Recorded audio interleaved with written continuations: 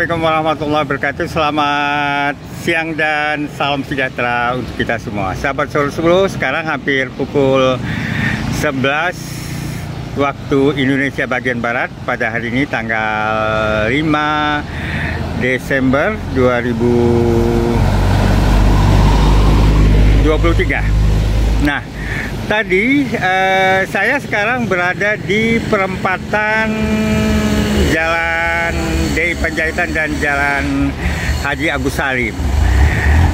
Uh, proyek peningkatan jalan dan pembangunan drainase di kawasan ini nampaknya membuahkan hasil. Biasanya uh, kawasan ini apabila terjadi hujan yang cukup lebat uh, dalam waktu setengah jam atau satu jam akan membuat kawasan ini tergenang. Nah, tetapi kalau kita lihat seperti sekarang ini karena adanya drainase yang dibangun di kalau kita dari arah uh, DI Panjaitan ke masuk ke jalan Agus Salim, kawasan ini akan tergenang.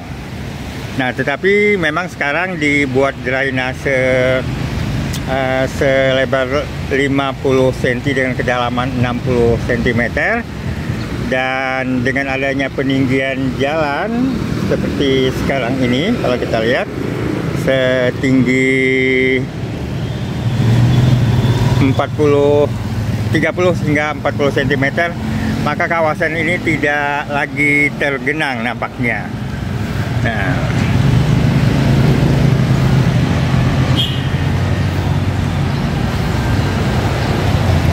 ini drainase yang dibangun seperti ini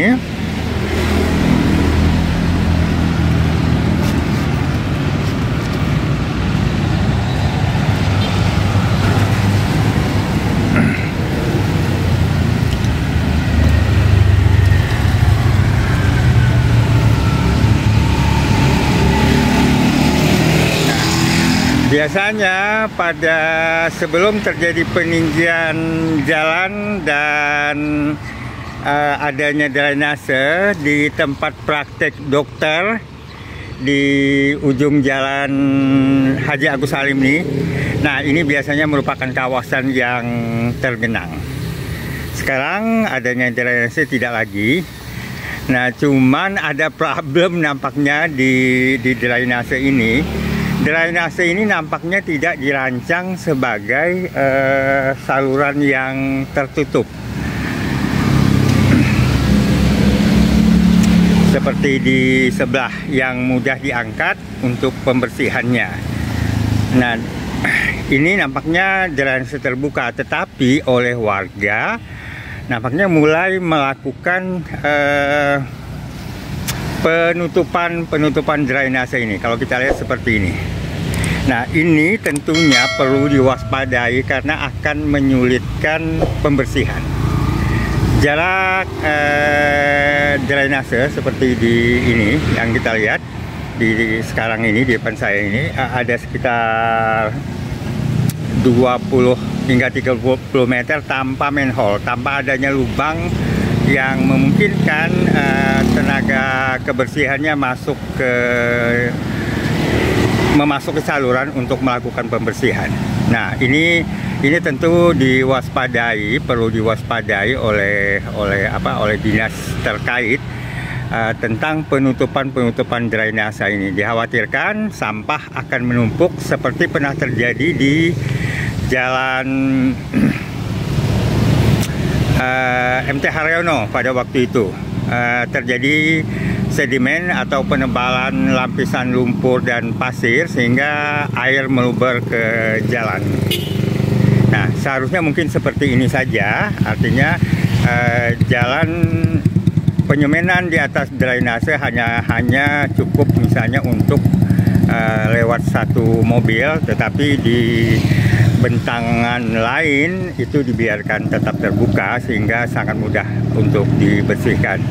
Nah, seperti yang saya gambarkan tadi, eh, cukup mengkhawatirkan karena ada peluang, ada kemungkinan eh, saluran yang tertutup total oleh semen di atasnya akan mengalami uh, kesulitan untuk dibersihkan. Atau mungkin kalaupun ini dilakukan bisa dengan penutupan dengan menggunakan kerangkeng besi seperti di depan. Kalau kita lihat ada ada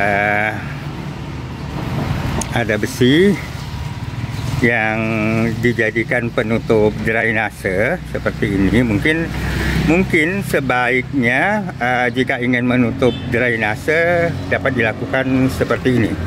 Dengan ah, besi-besi uh, seperti ini ini akan apabila untuk pembersihan akan mudah diangkat. Tetapi kalau kita lihat tadi di sana uh, penutupan secara total dengan beton di atasnya.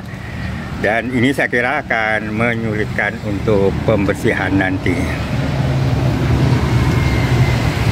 nah kalau dengan besi seperti ini sepanjang tidak untuk dilewati mobil mungkin boleh saja dilakukan untuk pengamanan justru tetapi kalau ditutup secara total dan nah itu akan menyulitkan harusnya seperti drainase yang lama ini uh, dengan sistem peletakan beton-beton di atasnya seperti ini. Nah, jadi apabila uh, hendak dibersihkan, beton-beton ini bisa diangkat dan saluran bisa kembali dibersihkan. Seperti ini beton-beton penutupnya.